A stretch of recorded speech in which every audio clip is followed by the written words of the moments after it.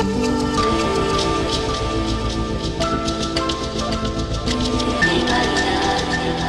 sieht echt sehr, sehr lecker aus.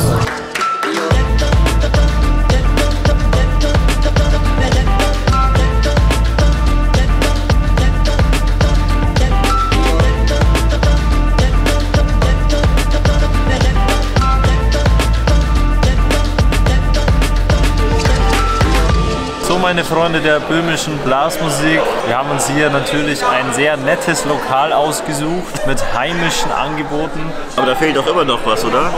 Egal, wir haben sie geschissen. So